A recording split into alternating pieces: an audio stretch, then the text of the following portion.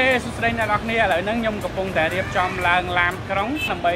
ធ្វើដំណើរទៅខេត្តមណ្ឌលគិរីចង់ដឹងថាខេត្តមណ្ឌលគិរីស្អាតប៉ុណ្ណាកុំភ្លេចតាមដានដល់លេខបាយស្មាតទាំងអស់គ្នាបាយបាយ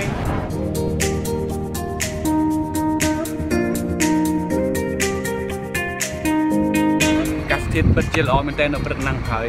តិចទៀតហ្នឹងយើងនឹងចេញទៅដើរលេងទាំងអស់គ្នាហើយគោលដៅទី1របស់យើងគឺទៅកន្លែងកំពង់មូលរូបខ្ទិ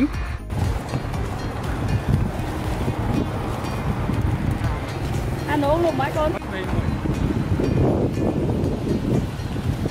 អូសើមកនេះ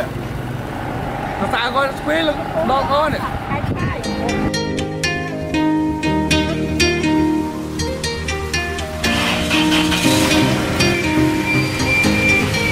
mega step on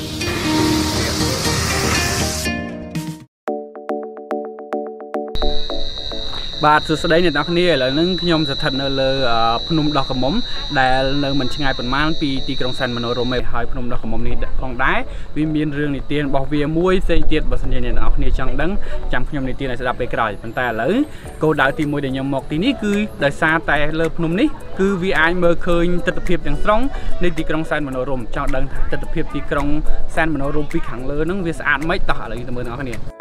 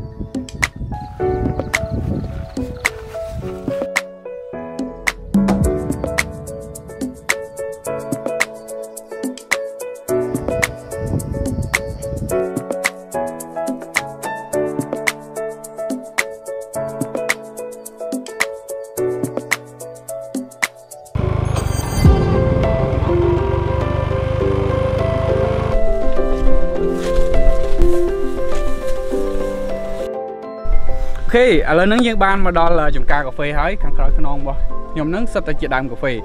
នេះគឺជាក្របកាហ្វេដែលវាមិនទាន់ទុំហើយគេអត់ទាន់បានយកវាទៅធ្វើការកិនបំបែកជាក្រប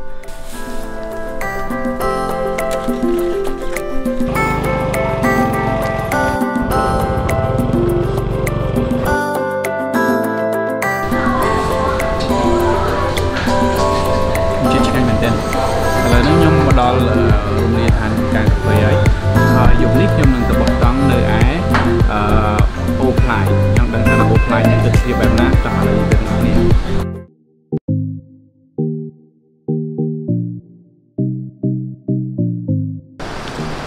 បាទសួស្តីអ្នកនរគ្នាឥឡូវហ្នឹងយើងបានឈានចូលមកលេងអូផ្លាយដោយសារតែវា នៅផ្លូវជាមួយគ្នានឹងទៅចិត្តជន់គូស្រា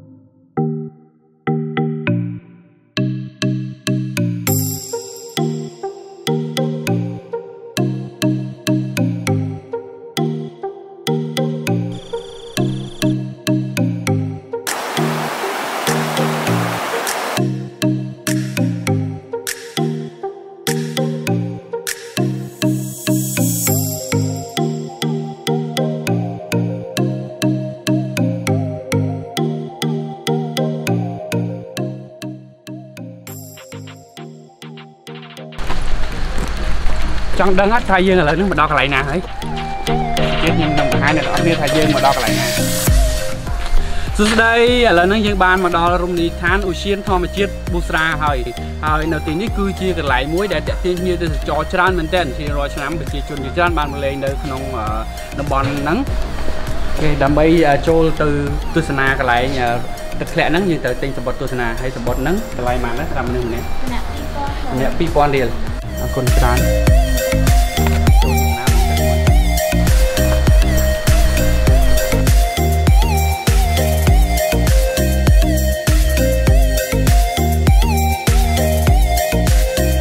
សូរ៉ា Fashion ខេត្តមណ្ឌលគិរីអូនេះដូចរ៉ែមាសថ្មរ៉ែមាសគេហ្នឹងចាំវ៉ាវចាំង blue plate រ៉ែមាស con cô nôm chè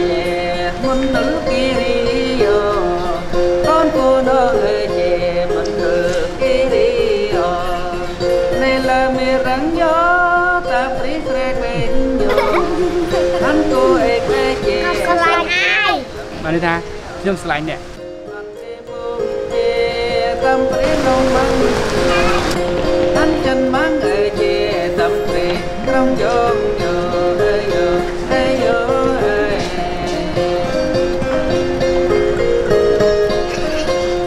anh đó cô nó người về mình nữ đi đi vô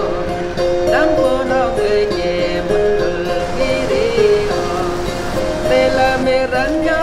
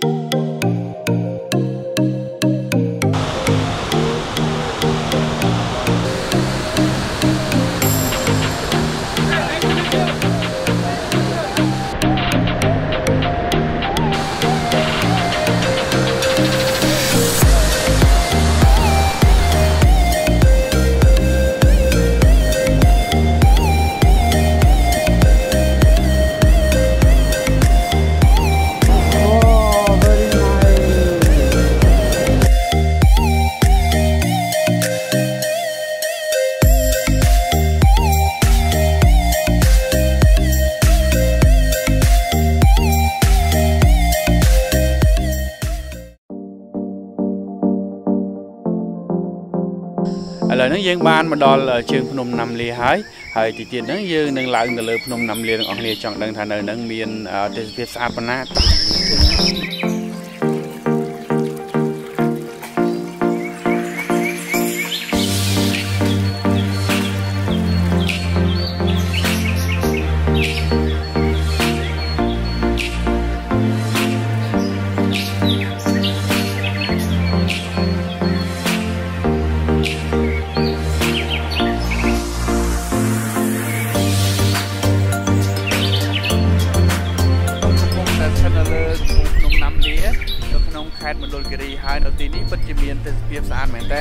ខុសប្លែកពីភ្នំដទៃផ្សេងទៀតនៅក្នុងប្រទេសកម្ពុជាយើងហើយកាលពីម៉ោងអឺកាលពីល្ងាចមិញម៉ោងប្រហែលជា5ខ្ញុំបានចេញដំណើរពីទឹកជ្រោះប៊ូស្រាមកកាន់អឺភ្នំណាំលានេះប្រើរយៈពេលប្រហែលជា40នាទីហើយចំពោះការរៀបចំអីវ៉ាន់ឡើងមកលើភ្នំណាំលានេះផងដែរខ្ញុំសូមណែនាំឲ្យអ្នកទាំងអស់គ្នាគួរតែមានស្បែកជើងមួយគូដូចស្បែកជើងរបស់ខ្ញុំនេះ ឬក៏គេមានស្បែកជើងមួយប្រភេទទៀតគេសម្រាប់ឡើងភ្នំតែម្ដង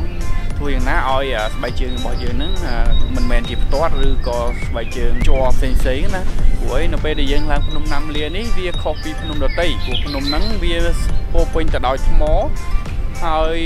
អត់មានដើមឈើតោងទេដូច្នេះហើយបើសិនជាយើងពាក់ស្បែកជើងមិនបានត្រឹមត្រូវវាអាចធ្វើឲ្យយើងនឹងលំបាកក្នុងការឡើងមកខាងលើហ្នឹងអ្នកទាំងអស់គ្នាគួរតែមានការស្ពាយអីវ៉ាន់ឲ្យបានត្រឹមត្រូវចងជាប់នឹងខ្នងធ្វើម៉េចឲ្យវាស្រួលខ្លួនហើយកាលពីល្ងាចហ្នឹងផងដែរខ្ញុំបានឡើងពីខាងក្រោមមកដល់លើហ្នឹងខ្ញុំស្ពាយអីវ៉ាន់ច្រើនវាធ្វើឲ្យខ្ញុំហ្នឹងមានលក្ខណៈថាគូទ្រមមែនទែនមកដល់ពាក់កណ្ដាលភ្នំខ្ញុំភ័យអារម្មណ៍ថាភ័យដោយសារតែអឺឡើងមកដល់ហ្នឹងវាអត់មានអីតោងហើយយើងហត់យើងទៅការសម្រាណា ទៀតមានអីតោងឲ្យរៀងចោតទៀតដូច្នេះខ្ញុំភ័យមែនតើបន្តមកទៀតខ្ញុំបានសម្រាកតម្រេតខ្លួននៅលើ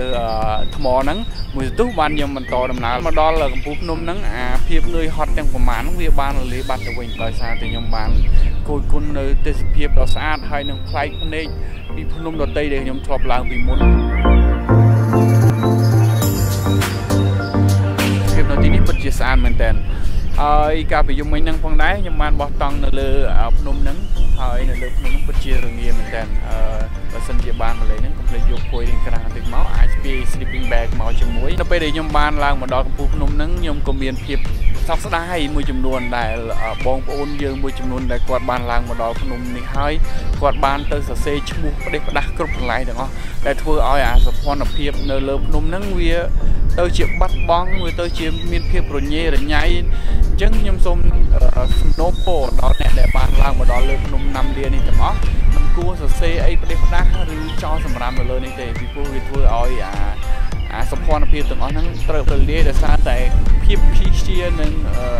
ឥតសម្រាប់ធ្នាប់ទាំងនោះណាអញ្ចឹងសូមអរគុណអ្នកទាំងអស់គ្នាដែលបានមកលេងភ្នំណាំលាហើយជួយថែរក្សាបរិស្ថាននិងមិនសរសេរផ្ដេសផ្ដាស់នៅលើនេះផងដែរ